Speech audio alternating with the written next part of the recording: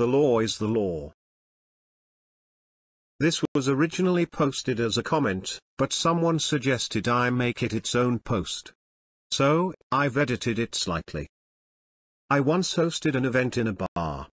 It was a kind of celebration for police trainees.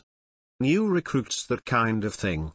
Anyway, as I was busy slaving away, pouring drinks etc., this one woman who was absolutely full of herself was watching me pour measures for another customer, making comments about the amount of ice in drinks, how I was using the wrong glass. I wasn't. And other obnoxious comments about how she was waiting to be served and she was here first. She wasn't. I was pouring some spirits, and for those who don't know, they come in standard sizes of 25 milliliters for singles, 50 milliliters for doubles etc. I reached the end of the bottle as I was pouring the whiskey and there was a tiny drop left, so I just poured those few extra ml into the glass. Which you shouldn't really do, but who cares, right? Anyway, she gets up in my face about how it's technically illegal to pour extra measures and that the law is the law and I should follow the law to the letter. I tried to brush it off and ignore her and carried on serving other customers. But there she was commenting on pretty much everything I was doing and as everyone who has worked in customer service, you know how annoying it is to have everything scrutinized and commented on as though you're nothing but a useless piece of shit. It comes to her turn and she asks for an alcoholic beverage. So, using my limited powers I ask her for her ID. She goes bright red in the face and stutters something about being old enough to be in the police. I tell her sorry. If you don't have ID, I can't legally serve you. The law is the law after all. Lo and behold, she didn't have ID and had to settle for lemonade. Now to the comments. This is the perfect passive-aggressive response in customer service. When life gives you Karen, give her lemonade, and then demand to speak with Karen's manager. This second line is what happened in a Nidwell story I read some days back. This Karen came up to the OP, who didn't work there, and started being really demanding. When OP didn't help, because duh, she demanded to speak to their manager. This dude who had been watching the whole thing from further down the aisle, just another customer, marched right up to Karen, and did the exact same thing back to her. Beautiful. It must have been hard to conceal that smile.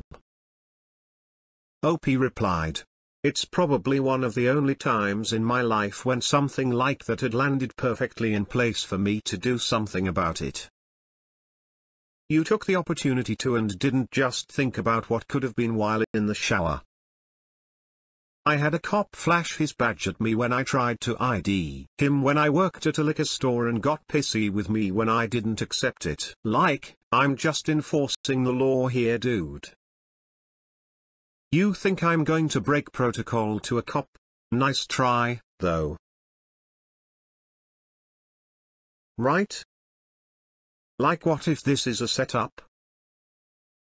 I worked at a Smoothie King right after college, when you commission into the Air Force as a pilot out of ROTC they give you a report date and don't pay you until then. Mine was six months afterwards, spent three months traveling and then needed some cash for the next three. Needless to say, I did not care about this job, and a cop handed me a credit card to pay for a signature he had written, CID so naturally I turned to the cop and said, Sir, I'm gonna need to see some ID. He had this completely startled and dumbfounded expression before I turned his card around so he could see what I was talking about. He then proceeded to sheepishly show me his ID and I rung him up for the smoothie. Why was he confused if he wrote that in the first place? Probably because nobody asks for that usually. Also, you have to have ID to sit at the bar top. I'm sorry, I'm going to have to ask you to move. It's the law. Been a while since I worked in a pub, but I don't think she needs an ID to sit at the bar. She does, however, need to be over 18 to order at the bar, so I'd have made her get someone else to purchase her lemonade just to wind her up. Location difference Here in Vegas, they are super strict about it. There are signs up at every bar and casino. 21 plus only, no exceptions. To be a fly on the freaking wall. I would have given you a standing ovation. You would stop rubbing your little fly hands together to applaud. I'd cry but this is the funniest image I've thought of in a while lol. Wait you can't do a shot and a half? Or a triple for a double? Not in the UK.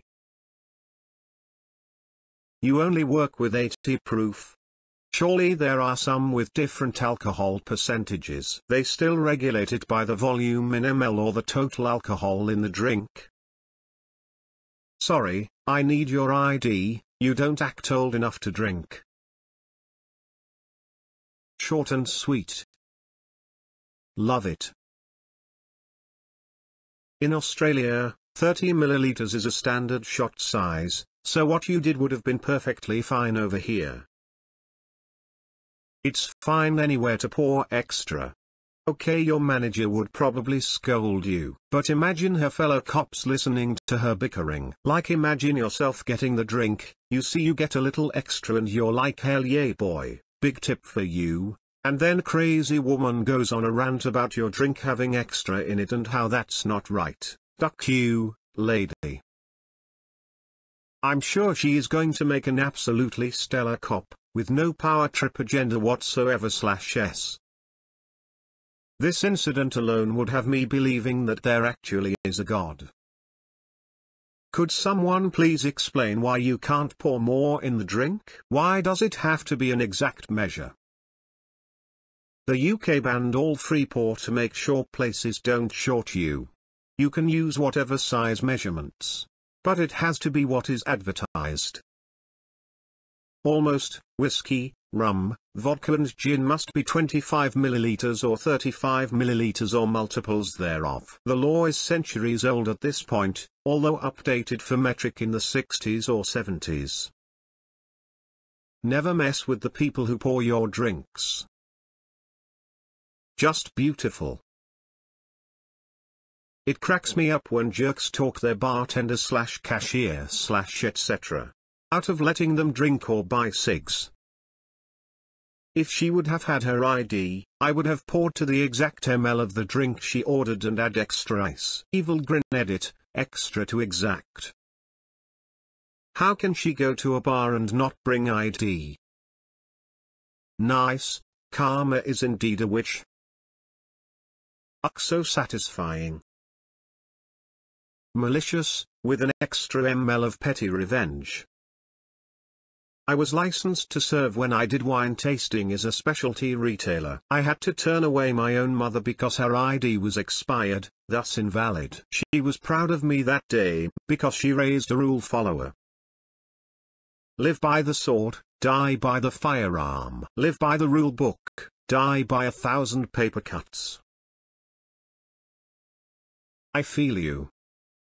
My smuggest moment was when I free poured a double and this woman shrieked no way is that a double, you're pouring too short and trying to con me. So, I took out a jigger and pour the contents of the glass into it. Not to blow my own trumpet, but the measurement was absolutely perfect. Completely filled up the 50 milliliters of the jigger with a perfect meniscus on top. Needless to say, she didn't complain for the rest of the night after that.